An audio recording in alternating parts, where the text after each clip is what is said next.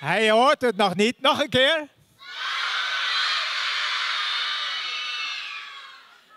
Hij komt eraan.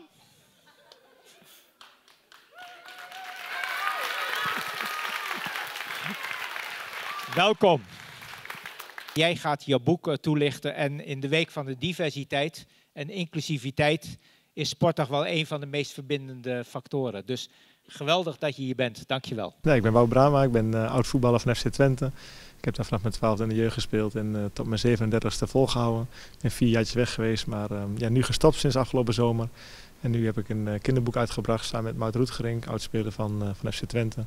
En die hoedanigheid ben ik ook vandaag hier om 300 kinderen blij te maken.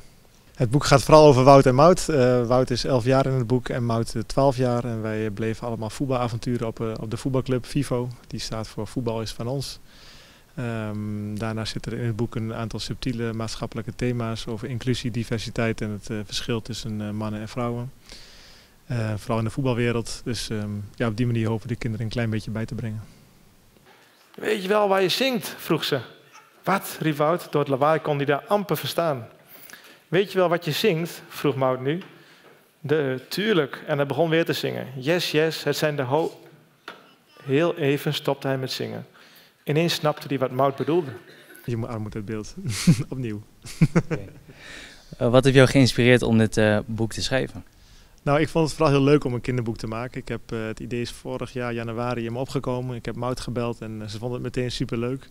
Uh, we vonden het iets te makkelijk om alleen maar een, een, voetbalboek te maken vol avonturen. Die bestaan er al eigenlijk al genoeg. We vonden het ook heel fijn om daar een, um, ja, een boodschap in te verwerken. Dus dat vond ik zelf het, het meest mooie aan het boek. het hele maakproces, we hebben het zelf uitgegeven. alles bedenken, het boek Het, de afmeting bepalen, de papierdikte.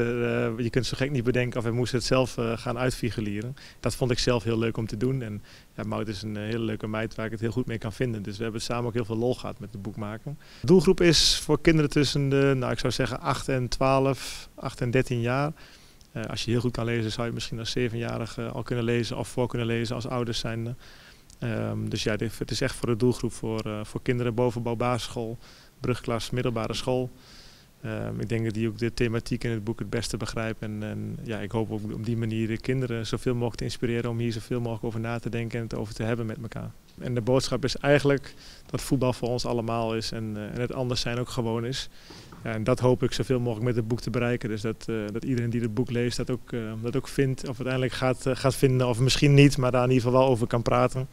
Um, zodat voetbal voor ons straks een inclusieve sport is. Wat heb jij in je hand? Maar niet alleen maar een boek, hè? Want ik ook, zie ook een groen briefje. Met een handtekening. Een briefje met handtekening erop. Wauw.